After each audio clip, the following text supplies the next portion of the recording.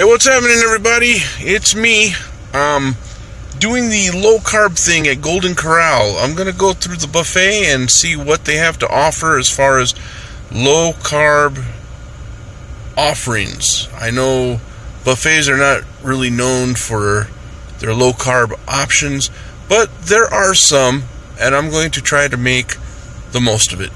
So, let's see what we can do.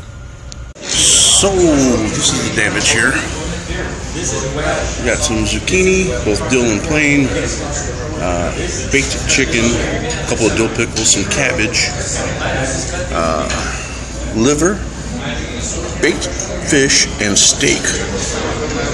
Like a regular caveman. Paleo style, baby. I don't know if that's paleo style, but still. Low carb options at the buffet. And I had to chase it with a Diet Coke, but what are you going to do? So there you have it. There are options.